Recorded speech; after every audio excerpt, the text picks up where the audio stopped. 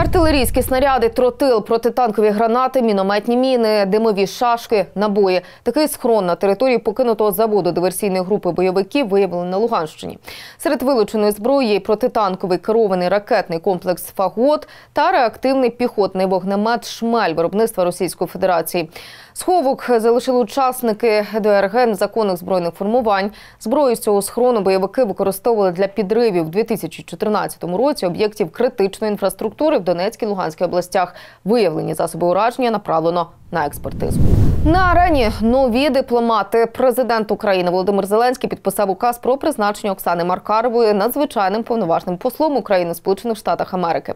Вітаючи Маркарову з призначенням, гарант зазначив, що її кандидатура має три ключові переваги: патріотизм, високий фаховий рівень та дуже позитивне сприйняття у США. Глава держави наголосив, що пані послу необхідно зосередитись насамперед на налагодженні ефективного діалогу з адміністрацією нового президента штатів Джо Байдена. Також активно працювати з конгресом, підтримувати постійний діалог з законодавцями та зміцнювати двопартійну підтримку України. Новоспечна дипломат своєю чергою зауважила, що США не тільки стратегічний партнер України, але й країна, з якою ми пов'язані спільними демократичними цінностями. Маркарова зазначила, має вдосталь ідей, аби зробити співпрацю двох країн цікавішою і результативнішою. В МВФ озвучили умови для продовження переговорів з Україною. Міжнародний валютний фонд відзначив продуктивність переговорів в ході місії, яка нещодавно завершилася, але назвав низку проблемних питань, без вирішення яких перемовини надалі не відбудуться. Про це повідомив представник МВФ Джері Райс. Серед них посилення управління банківським наглядом Національного банку, фіскальні ризики бюджетного дефіциту і зміцнення судової системи. Нагадаю, місія МВФ у лютому завершилась без прийняття рішення про перегляд програми «Стендбай». Операція Окупація цього дня 2014 року в Сімферополі відбувся мітинг кримських татар на підтримку територіальної цілісності України. Київ у цей день ще оговтувався від жорстоких убивств. Янукович втік, а нова влада ще не була до кінця сформована. Ситуацію, звісно ж, скористалася Росія. В лютому на півострові з'явилися озброєні люди в формі без розпізнавальних знаків. А вже 16 березня Володимир Путін підписав злочинний договір про прийняття Криму до складу Росії. Як Кремль анексував півострів та коли чекати повернення Криму додому, розповість наша Тетяна Собко. Сім років тому Крим вкрали в України. Офіційно Москва називає цей процес поверненням Криму додому і виправленням історичної помилки та несправедливості. Вони використали той момент, коли Україна була дуже слабкою, коли не працювали інститути влади. По суті, 26 лютого під стінами кримського парламенту відбувся масштабний проукраїнський мітинг. Кримські татари протистояли прихильникам проросійського руху та блокували будівлю парламенту і його роботу.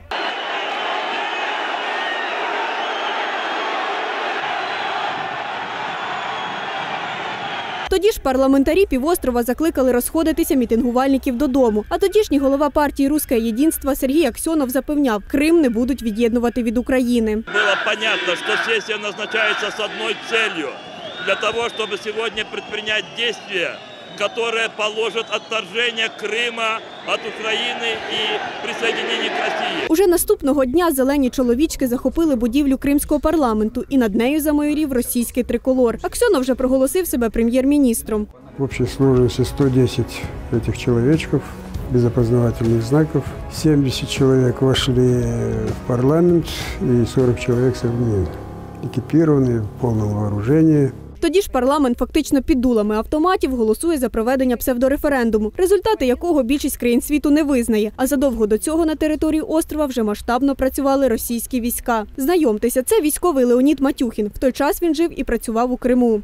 Е, В принципі, вони навіть е, не приховували, що вони росіяни, тому що навіть на їх е, автомобілях були номерні знаки, які свідчили про те, що це саме російські збройні сили. Ну, Скоріш за все, там половина з них не знала, де вони і що вони тут роблять. Українські військові частини були заблоковані так званими зеленими чоловічками, які, начебто, мали забезпечити мирне проведення референдуму. Сама ж маніпуляція громадською думкою була спланована давно. даний момент, використавши відповідну пропаганду, вони провели е, відповідну дану кампанію, яку вони готували не один рік. Петро у той час теж служив у Криму, і ось що він спостерігав впродовж місяця. Ну, тоді, коли був Майдан, е, паралельно там вже люди почали підніматися, почали на цьому вішати на балконах російський прапор.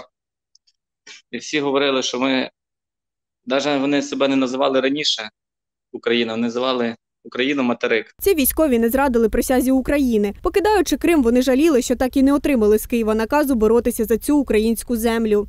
Але по факту ми за Крим не воювали. Ось і все.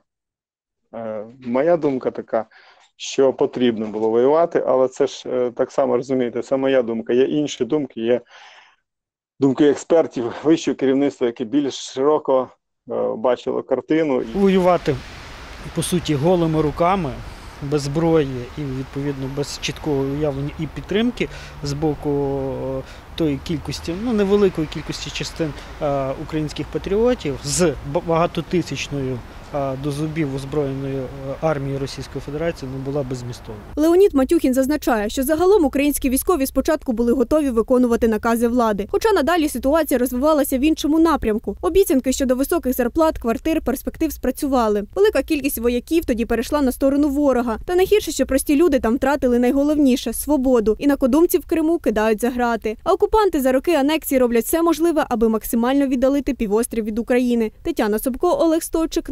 Новини Правда тут.